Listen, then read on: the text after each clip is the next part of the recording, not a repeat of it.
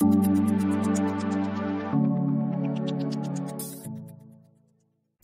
our previous video, we took care of the setup of our application, creating a virtual environment and installing the Flask dependency. In this video, we're going to see in more detail how the application actually works. As you might have seen, this entire tutorial is going to be divided in different steps that we can take to see different features of the Flask web framework. The first one is a very simple application it might be the simplest application that you can build with your the Flask web framework. In this case, we are defining an app object, and that app object is being imported in the run application Python file. In this case, we have to understand that the app, in this case, is just an object created out of the Flask class. We are then, in the run app, using the application to mark some settings, to do some configuration, and finally, we are running the application. This app.run invocation will hold execution and will wait for calls by different clients. So let's spin our Flask application. As you can see here, it's running. And if I go and access the application in my web browser, I will see a new line logged and the response from the server.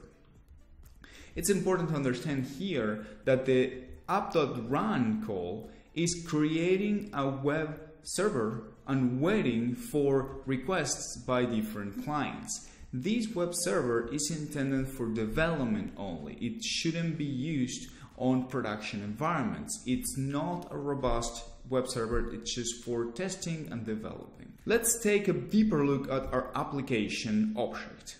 In this case, the application object, again, is just created out of the Flask class, and it's doing just one particular thing. It's defining a route, the route slash, all right? The root of our web server, web application is going to be the slash route right here. It's decorating a simple function with this route, all right? So whenever a client accesses the slash route in our application, it will be served whatever was returned by this hello world function. All right, it's as simple as that. The important part here is done by this decorator, the route decorator. And if you don't know much about decorators, don't worry, you can always check our advanced Python course and there are more information about decorators there.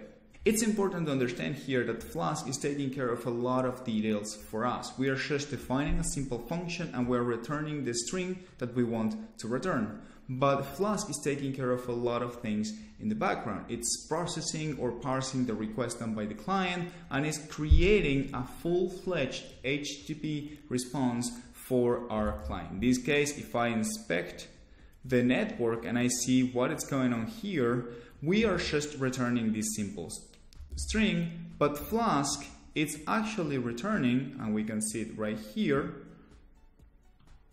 a full-fledged HTTP response with the protocol, with content type, with the content length, etc. It's doing a lot of work for us. It's simplifying the work that we have to do to create a web application.